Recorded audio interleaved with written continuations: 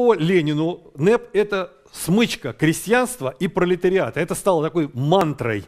Если ты против э, смычки против крестьянства и пролетариата, значит ты против э, советской власти. А уж после 23 года ситуация вообще изменилась в пользу смычки крестьянства и пролетариата. Я вам уже говорил, что советский герб «Серп и молот» был придуман в 22 году, и означал он молот – это немецкий, европейский пролетариат, а серб – это э, крестьянство, русское крестьянство.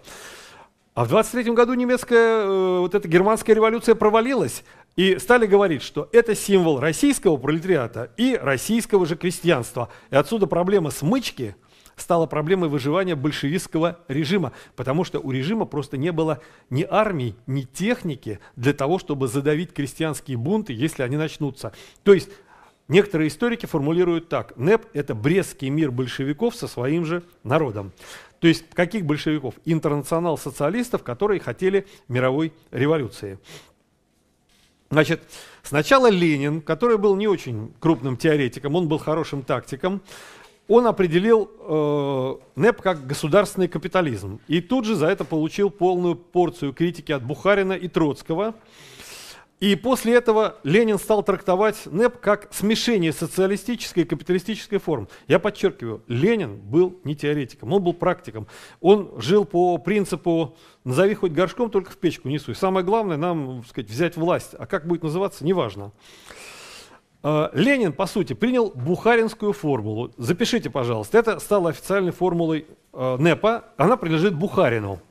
В кавычках. НЭП, это социалистическая диктатура, опирающаяся на социалистические производственные отношения и регулирующая широкую мелкобуржуазную организацию хозяйства.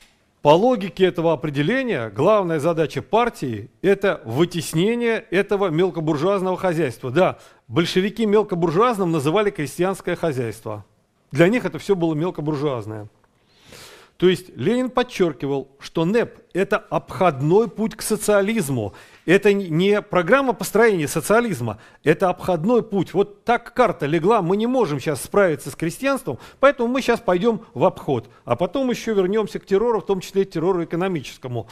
То есть погрозил сказать, пальцем и э, двинулись.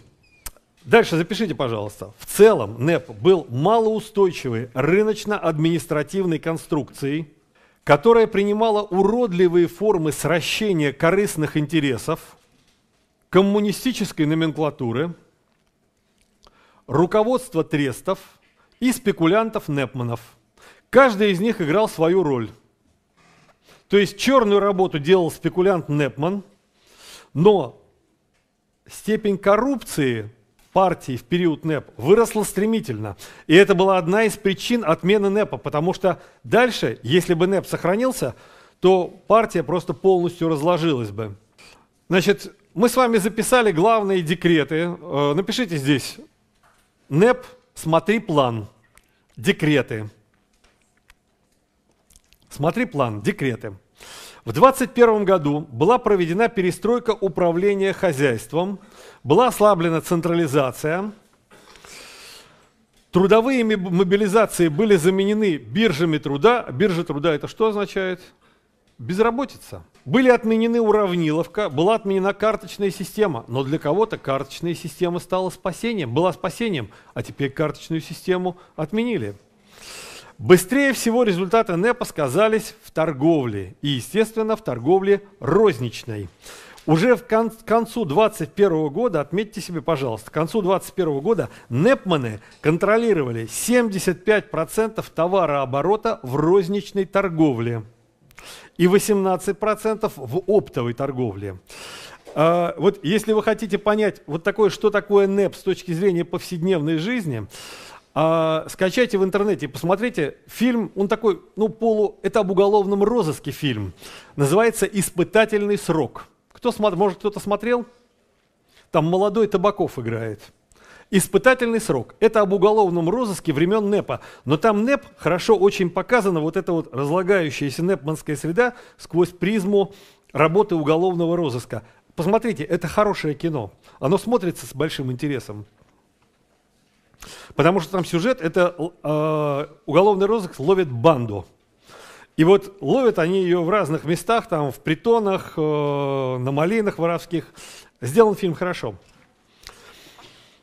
А непманство стало выгодной формой отмывания денег, особенно для, для тех представителей номенклатуры, которые хорошо пограбили во время войны. Теперь, ну это у них лежало и лежало, а теперь можно было сбывать это через непманов.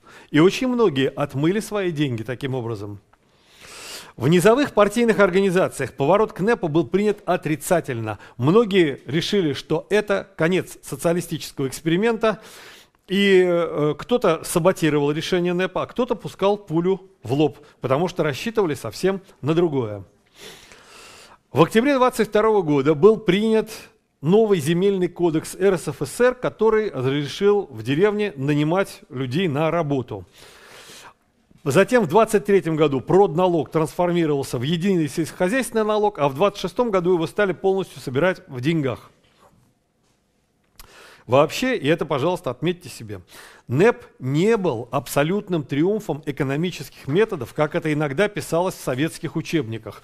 Это внешне был только триумф экономических методов. На самом деле там было очень много чего другого. Я имею в виду не только так называемые перегибы местных властей, Дело в том, что значительная часть крестьянского продукта отчуждалась в виде налога, причем налогообложение было чрезмерным. Другое дело, что крестьянин получил возможность свободно вздохнуть, и это решило некоторые проблемы.